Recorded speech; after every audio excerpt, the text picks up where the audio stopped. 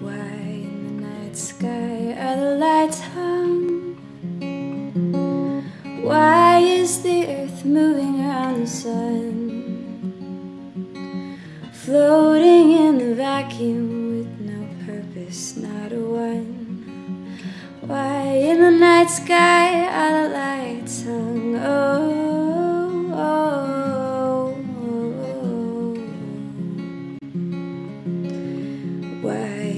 life made only for to end?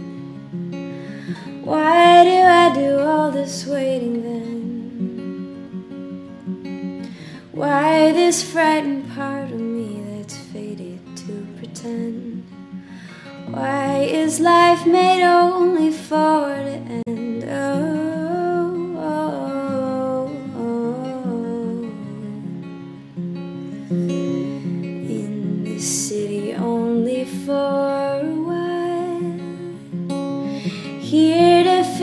fortune and the bile. I heard you on the radio, I couldn't help but smile. In this city only for a while. Oh, oh, oh. Why in the night sky are the lights hung? Why is the earth moving Floating in the vacuum with no purpose, not a one. Why in the night sky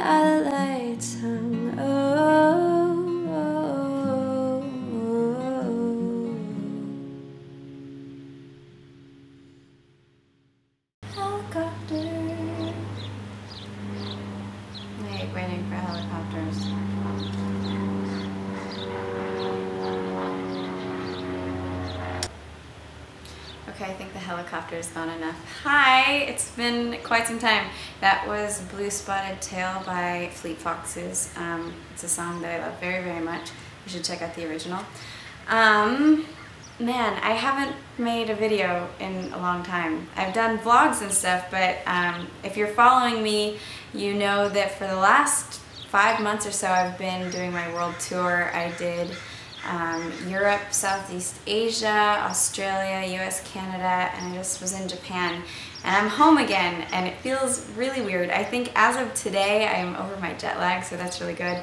Um, but I'm really excited because I'm starting to shift my focus from touring and stairwells to the new album. And um, I have some songs I'm really excited about, and I hope to write a lot more and hopefully really dig in in the summer and fall. So, yay, new music, super exciting. Um, but what else did I want to tell you? I hear the helicopter returning. Don't you dare.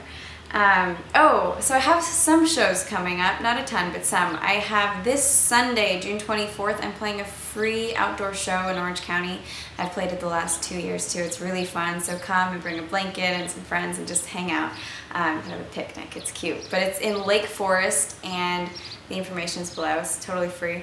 And um, then I'm playing two shows in Japan in August, August 4th, which is my birthday, in Tokyo, and August 6th in Osaka. So um, if you're in Japan, I look forward to seeing you. And then I'm playing a couple festivals in September.